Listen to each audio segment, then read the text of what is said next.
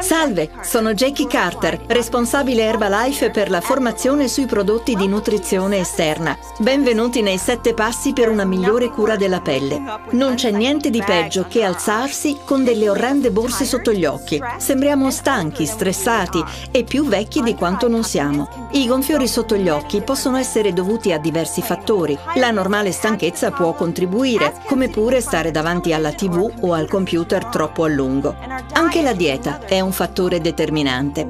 Consumare troppo sale o bere più alcol del solito possono causare disidratazione e ritenzione dei liquidi.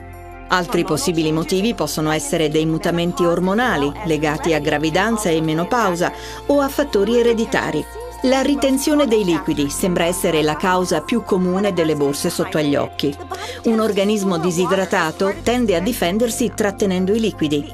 La zona intorno agli occhi è priva di ghiandole sudoripare e sebacee e quindi risulta più delicata e particolarmente soggetta a disidratazione e infatti di solito è lì che compaiono le prime rughe.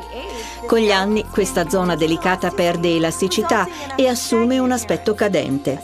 Una crema o un gel specifici per il contorno occhi aiutano a ridurre il gonfiore e la comparsa di rughe e linee sottili. Applicate con delicatezza la crema o il gel intorno agli occhi mediante leggeri colpetti con il dito anulare per evitare di tirare o danneggiare la cute. Spesso trascuriamo le labbra, mentre è importante proteggerle per evitare che si screpolino. La pelle intorno alle labbra è molto sottile ed è priva di ghiandole sudoripare e sebacee. Inoltre le labbra non hanno lo strato protettivo esterno chiamato stratum corneum e questo le rende più vulnerabili agli agenti ambientali come l'esposizione al sole. Le labbra hanno pochissima melanina e se non vengono protette a dovere possono bruciarsi. Infatti le labbra sono la zona del viso più soggetta a ustioni. L'età incide molto sulle labbra, rendendole meno carnose e meno idratate. Osservatele da vicino. Ci sono linee e rughe che vanno in ogni direzione. Alcune sono dovute ad azioni ripetitive come parlare e mangiare. Il lato confortante è che, anche se la pelle delle labbra è così sottile, è possibile proteggerla e mitigare i segni dell'età.